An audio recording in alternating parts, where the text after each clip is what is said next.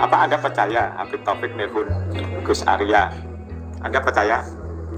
Ini lucu, lihat lucu-lucu itu Gus Arya kok ditelepon sama orang yang mengaku-ngaku Habib Taufik ketua Robito.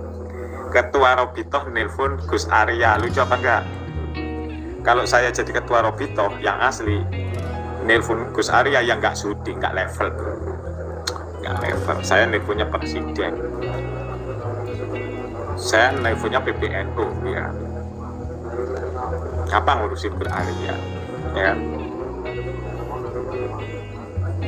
Wah, Gus Arya itu cuma youtuber youtuber NKRI yang cuma apa membela bangsanya dengan suara ya apa urusannya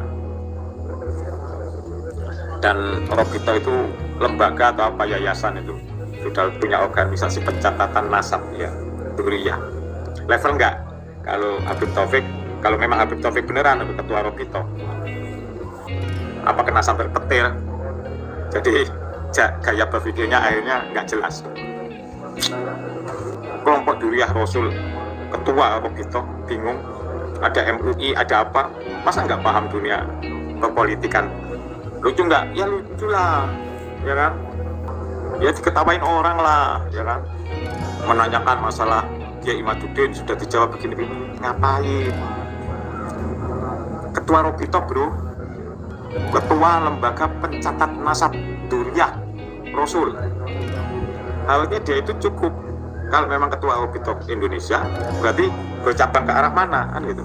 Ke Yaman ke Irak ke Iran atau ke Kairo atau ke mana? Tinggal lobby ya kan?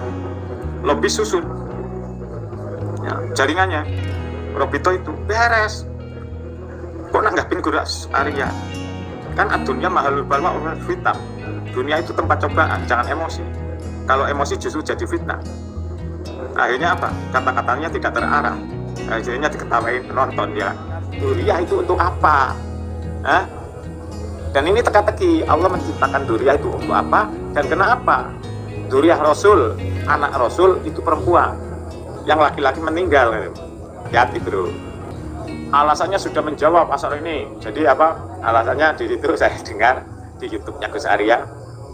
Apa? Kalau memang apa? Ya Imaduddin datang ke Robito eh bukan masalah datang atau tidak datang.